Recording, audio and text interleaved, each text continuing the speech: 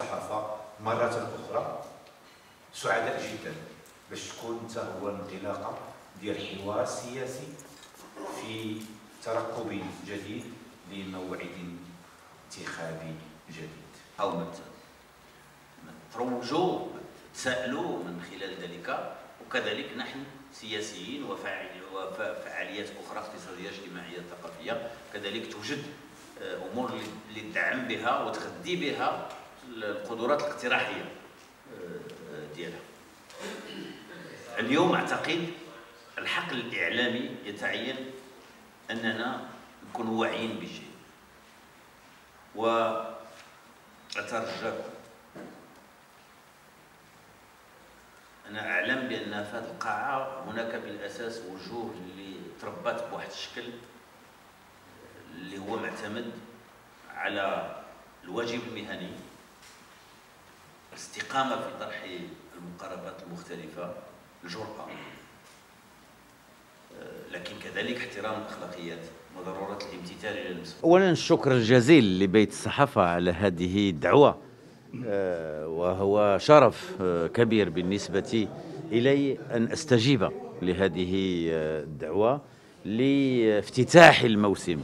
كما كما قلتم الموسم الإعلامي بالنسبة لهذه التجربة الرائدة التي هي التجربة الفريدة من نوعها اليوم آه، كبيت للصحافة لأن كان هناك بيت للصحافة بالرباط ولم يعد آه، موجود.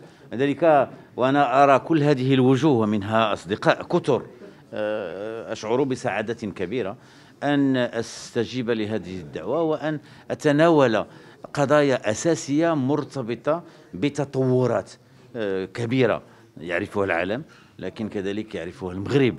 آه، جراء آه، وباء الكوفيد وانتشار هذا الوباء منذ آه، سنة الآن. وهناك بالطبع آثار وخيمة لهذا الوباء ولكن هناك كذلك تطلع إلى المستقبل من أجل أن يخرج المغرب على أحسن حال من هذه التجربة. وفي ذلك هناك تحديات سياسية كبيرة ونحن نحضر لمعركة الانتخابات في الشهور القليلة المقبلة. وهناك تحديات اقتصاد بالطبع بهدف تعميق المسار الديمقراطي وبلورة الدستور على أحسن حال. وهناك كذلك تحديات اقتصادية واجتماعية من أجل أن يكون المغرب من أول الدول التي سترفع الرأس وستدخل في بناء جديد متجدد بعد الآثار الوخيمة لوباء الكورونا.